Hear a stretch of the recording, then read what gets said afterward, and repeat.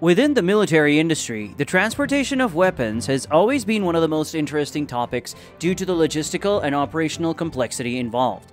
This complexity often escalates when the cargoes are of extreme importance, delicacy, and even destructive capability, which is why it is often necessary to resort to creating new, more suitable methods of transportation. While solutions tend to be highly effective when they are more sophisticated and innovative, many times they lean more towards creativity when it comes to solving problems practically. That's why today we'll delve into the story of when Kenworth developed a couple of trucks for transporting nuclear weapons.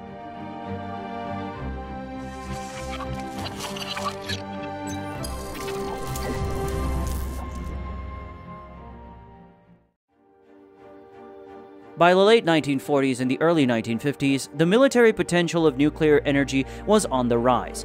Although it was foreseen that the use of nuclear weapons would be the direction of future military developments, at that time bombers were very imprecise, and missile technology was still in its infancy, requiring a new solution for the deployment of these weapons of mass destruction.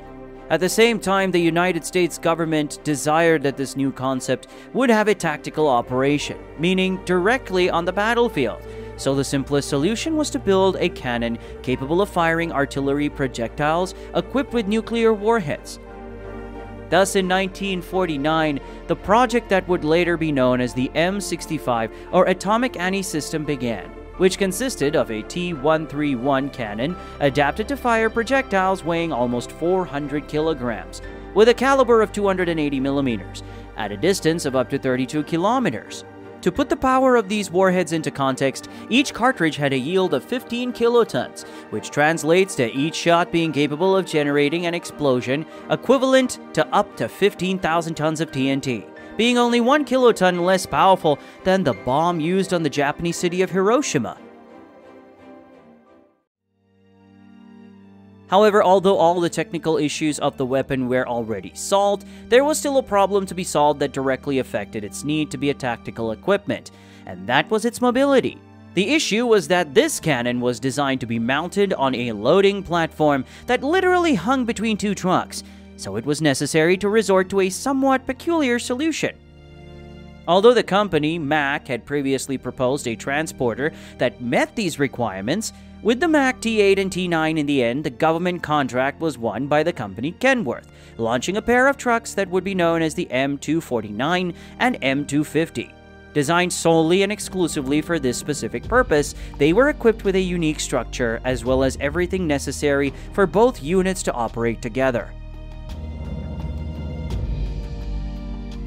The first truck known as the M249 was built with two axles and all-wheel drive, featuring a hitch point located just behind the driver's cab and above the second axle, in order to be the front unit in assembly.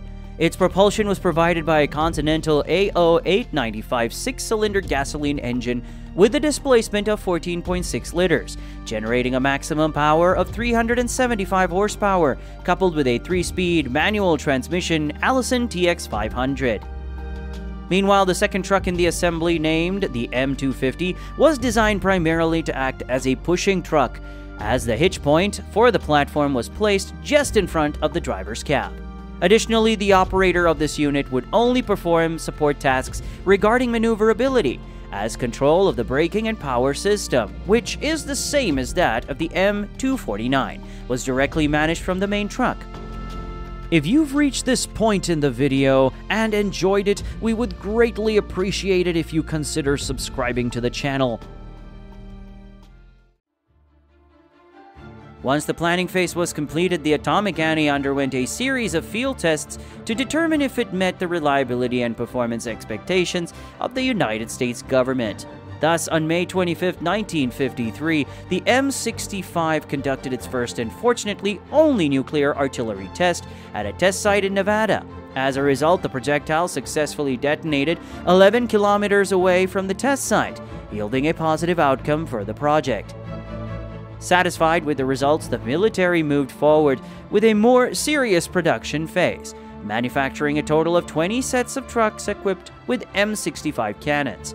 Subsequently, these sets were deployed to various parts of the world to serve the armies stationed in strategic positions. particularly those located in West Germany and the Japanese island of Okinawa. However, the arrival of these units in Europe only served to highlight the significant design disadvantages they faced. Their service in Germany made it clear that maneuvering a monstrous machine weighing 78 tons and measuring 26 meters in length along European roads was an extremely challenging task that required more than just driver coordination. Furthermore, although the maximum speed of this assembly was set at 40 kilometers per hour, drivers were instructed not to exceed 15 kilometers per hour, especially on curves.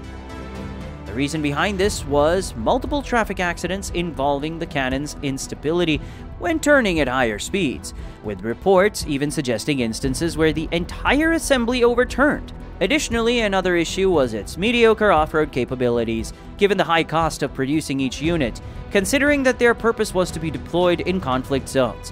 The total cost to produce each assembly amounted to around $7 million in today's currency. The final nail in the coffin for this project was the significant advancement and modernization of nuclear weapon delivery techniques just 10 years later. In 1963, the M65 cannons were already considered obsolete, accelerating the decision to withdraw them from the areas where they were deployed. Fortunately, it's still possible to see some of the models produced at the time in person, although most of the 20 units produced were scrapped. There are three complete sets displayed at the U.S. Army Artillery Museums in Maryland and Oklahoma, and one more at the National Museum of Nuclear Science and History in New Mexico. Thank you for watching our video. If you liked it and want more similar content, please subscribe to our channel. We also invite you to visit our secondary channel, Gear Unlimited, where you'll find a wide variety of topics we appreciate your support and interest. Keep on trucking and stay tuned for more.